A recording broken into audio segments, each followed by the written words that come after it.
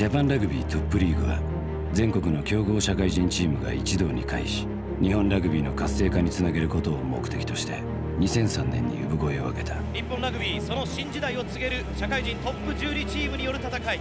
その名はジャパンラグビートップリーグついに動き出します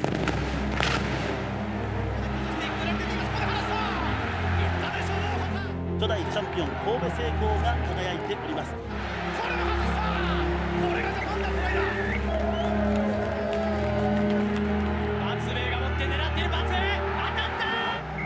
東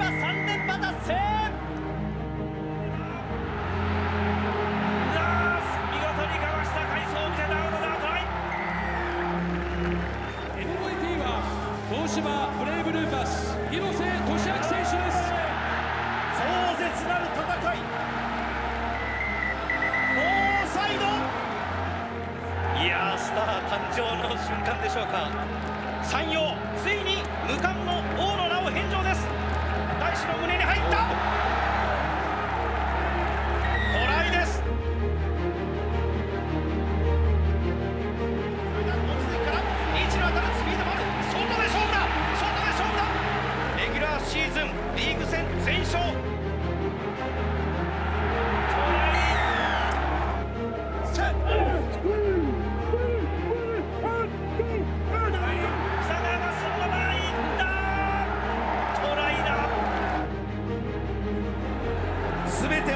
この